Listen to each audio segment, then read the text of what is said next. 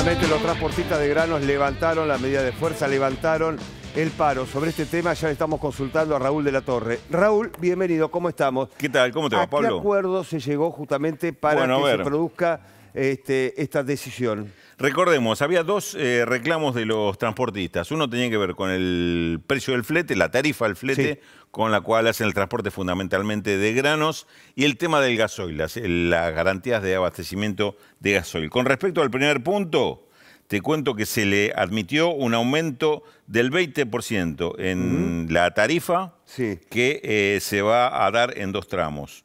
Eh, uno inmediato del 11% y un 9% a partir de fines de abril.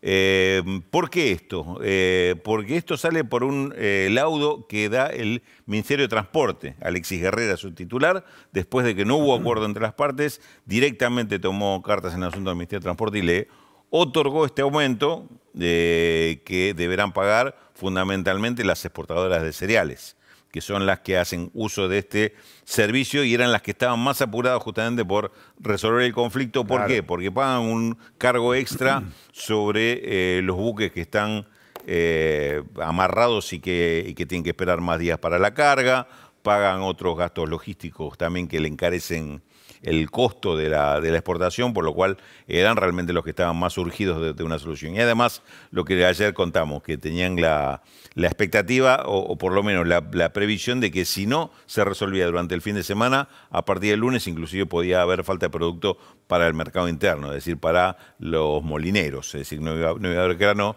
suficiente para, para la producción de harina. Bueno, eso no sucedió. Eso no sucedió, se la resolvió. producción está.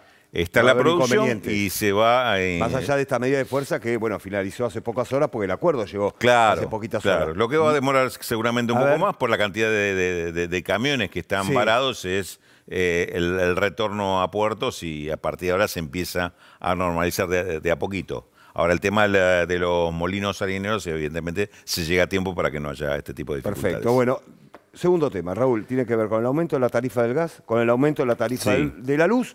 Va a haber audiencias públicas. Va a haber audiencias públicas que ya fueron convocadas en el día de ayer, quizá para algunos sorpresivamente, pues no se esperaba que en un jueves santo No, claro. se hiciera este anuncio, pero efectivamente son las audiencias públicas que estaban previstas en realidad que se iban a hacer durante el mes de abril, en este caso se posterga un poquito, van a ser durante el mes de mayo, pero con la intención de que ya esté definido para el primero de junio los nuevos aumentos en eh, estos servicios energéticos domiciliarios.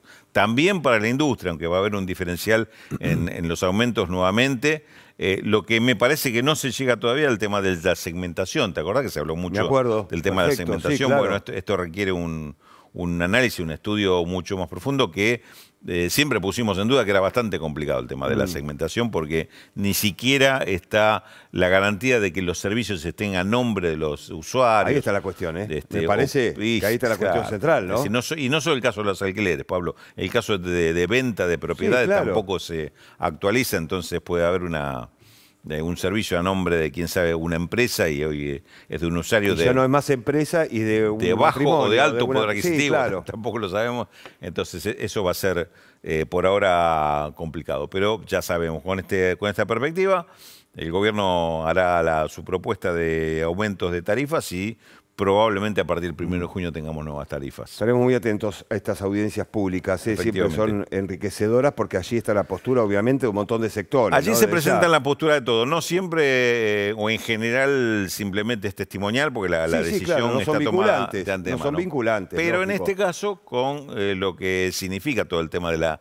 el debate, la Sí, discusión claro, obviamente. política y social del tema de tarifas, cual.